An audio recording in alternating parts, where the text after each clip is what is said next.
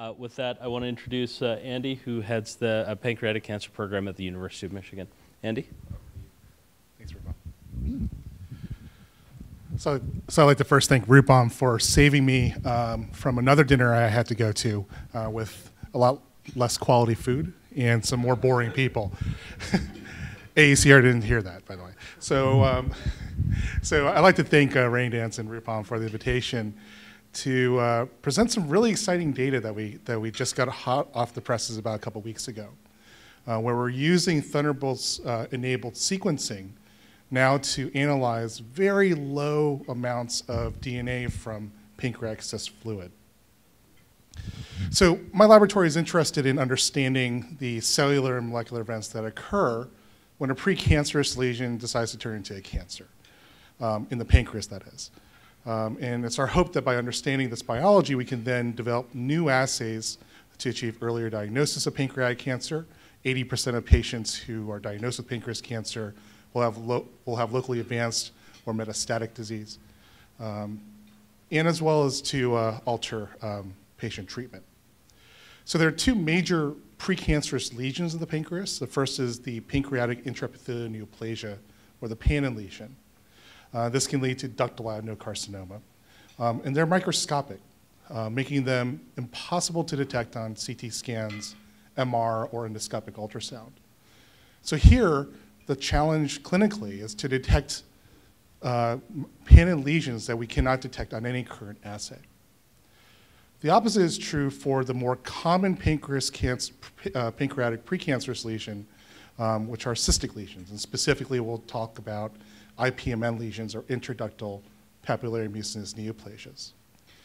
Here, these lesions can devolve into cyst adenocarcinomas or ductal adenocarcinomas.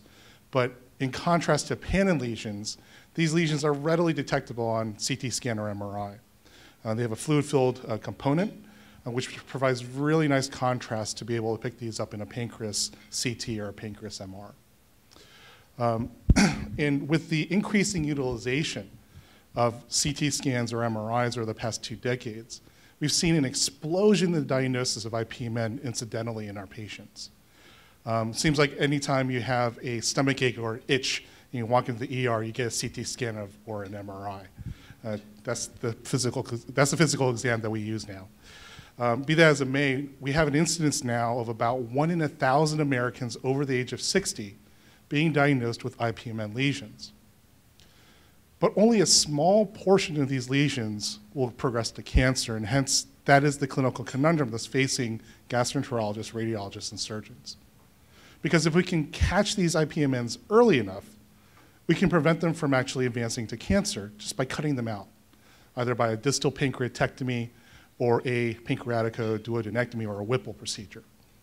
Uh, but the problem is, is that we kind of need our pancreases to digest the filet mignon that we just ate um, and to control blood sugars.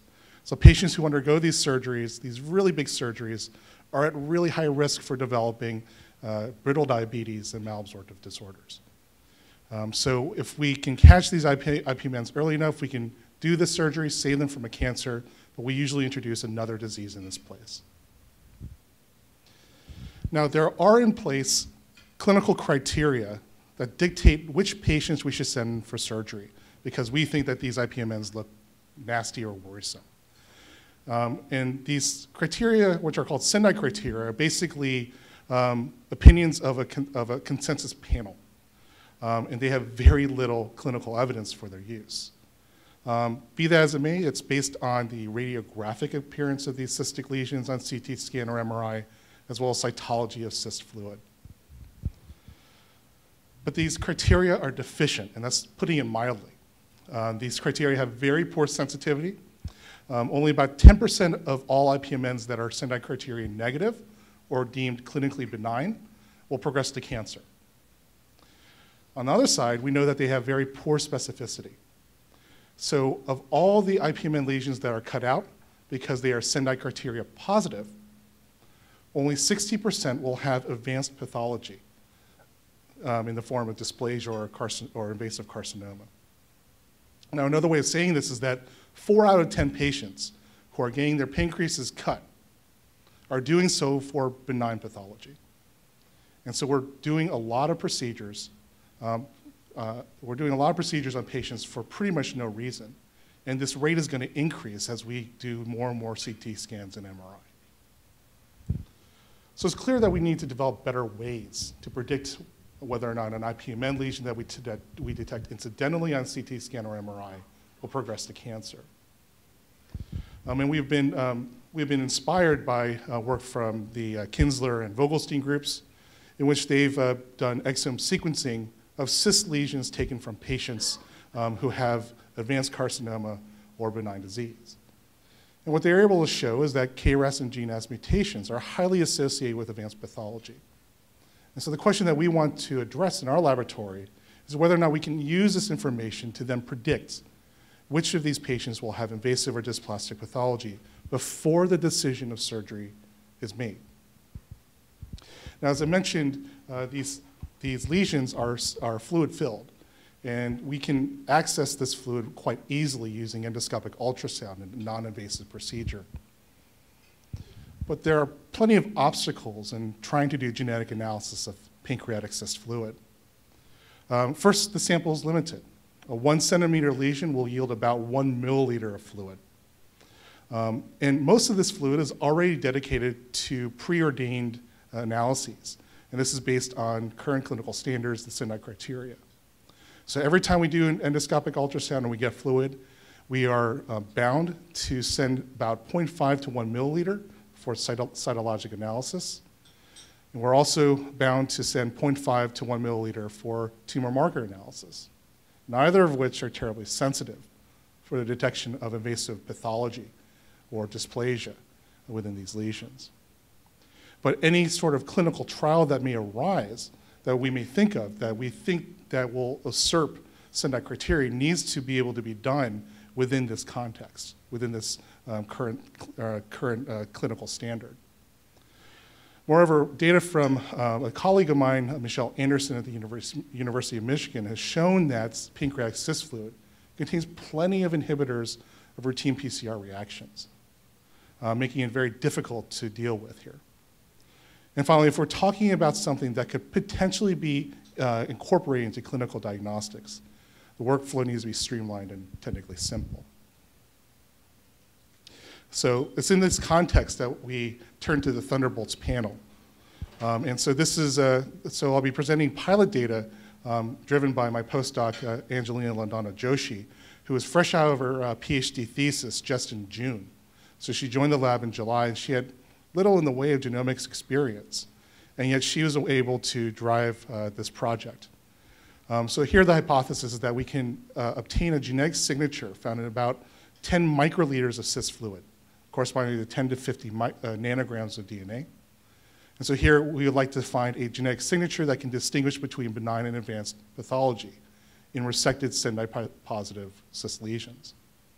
And so this, this pilot trial involved uh, looking at five cyst fluid samples from patients who eventually underwent surgery. Uh, we prepared uh, DNA, extracted it, and performed Thunderbolt's targeted amplification, library construction, and sequencing. We confirm the mutations by digital PCR, and then we compare the genetic signatures to the resulting pathology. So here's the standard data. It looks very similar to what you've seen before. Um, and we see that um, we see the five different samples, um, but we have very similar data no matter if we put in 50 nanograms or 8 nanograms. We get very uniform coverage and deep coverage at that, going out to almost 200x for almost all the targets. In terms of mutation uh, detection, we got some very interesting data. So in samples four and five, we found benign pathology. And here, not surprisingly, we could not find any mutations.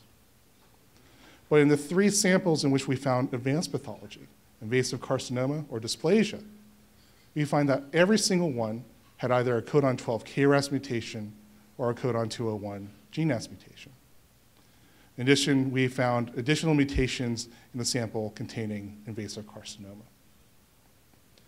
Now, we were able to validate these mutations uh, using droplet digital PCR. Here we're using TaqMan assays um, right off the shelf. Um, and here we found, find in sample one with the invasive carcinoma uh, a 26% minor, minor allelic frequency. We find 0% um, events um, in the uh, benign sample. And similar to what um, the others have shown, we see extremely high concordance in allelic frequency estimation with droplet digital PCR with the sequencing data. Now, what was really interesting to us is that we compared these data to a send-out test that many people in the field used uh, from a laboratory that specializes in detecting KRAS mutations uh, from pancreas cyst fluid. And what we're able to see here is that only one of the three samples in which we were able to find KRAS mutations using two complementary methods um, were uh, uh, KRAS mutations were, be able to, were able to be detected. So our future directions, we're designing a pancreas-specific Thunderbolts panel. Um, there are some mutations that we see in cyst lesions in ductal adenocarcinoma that are not represented on the current Thunderbolts panel, and we are working with the company um, to uh, design this. Um, and once we have this, um, we have buy-in from our institution to be able to do a clinical trial, comparing the clinical um, utility of Sendai criteria with Thunderbolts-enabled sequencing as well as targeted mutation analysis using droplet digital PCR. All right, so I've shown you data today that Thunderbolts enabled uh, targeted sequencing can be done with as little as eight nanograms of input DNA from a fluid that's really difficult to work with, pancreatic cyst fluid. Um, and this corresponds to actually 10 microliters of cyst fluid itself. And this allows us now to begin to think about genetic analysis of extremely small lesions that are being picked up on CT scans and MRI as well. And we've been able to show um, support for our hypothesis. Um, here we, we were able to show that KRAS and GNAS mutations certainly do correlate with the presence of worrisome pathology in cystic lesions. So this work was driven by, again, my first year postdoc, Angelina Joshi, with help from Stacy Coleman, um, and our key collaborators uh, from Michigan, but mostly from RainDance, um, especially Rachel Roll, who's uh, been able to help us with some of the intricacies of the protocols and the funding shown here. So with that, I thank you for your attention. I'll be happy to take any questions.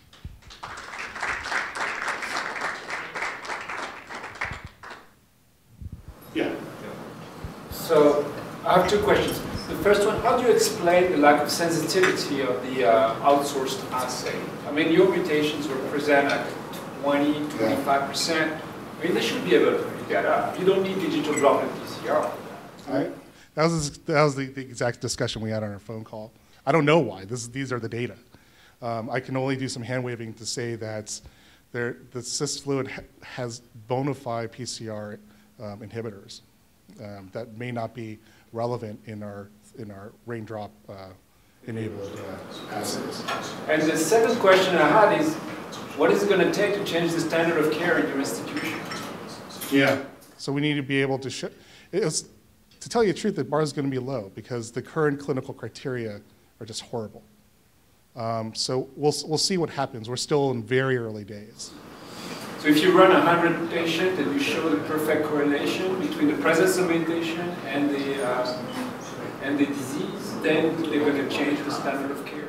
Well, we'd have to get it CLIA certified and whatnot, but yeah, it's, it's, it's, it's a process that we are purposely not thinking about at this point. Just want to see if it works. Getting to the question of the outsourced, uh, outsourced sample, that was overrun. There's a difference between what the allele frequency is versus what the absolute lower limit of detection is. One hypothesis might be that while the allele frequencies aren't that high and should be detectable, there could be an issue with just that little amount of cyst fluid, you're running into an absolute limit of detection issue with whatever technology they used. Sure. You know, it's, it's not just about allele it's what is the minimum level and absolute. That's That would be my hypothesis, is to, we've seen that before with other technologies. Absolutely. That's,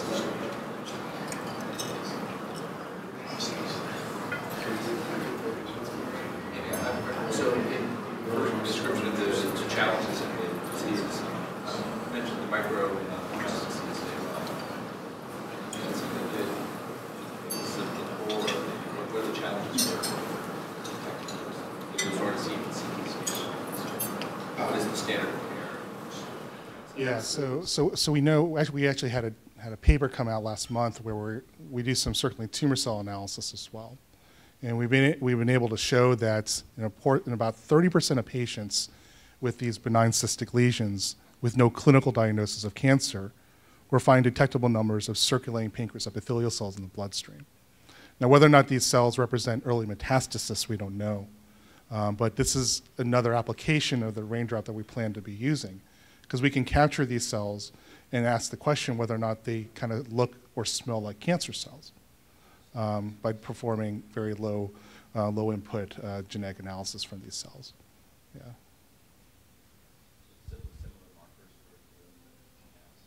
That's right. That's right. All right. Thank you.